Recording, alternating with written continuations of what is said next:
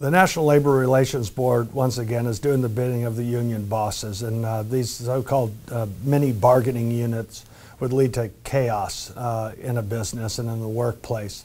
And, and I, I, think that's a bad idea, and I oppose it. Uh, the National Labor Relations Board's done a lot of things that are harmful for, for really, I think, good management and, and proper governance. They, they sued Boeing for investing in South Carolina, a right to work state, just like Virginia. Uh, they try to ram through doing away with private ballots and unionization efforts, and that's something I've long opposed. I think you should have private secret ballots and unionization. They have workport, workforce notices, a variety of different things that are really uh, on the side of the unions. And I'm, I'm not necessarily against somebody making a decision to join a union.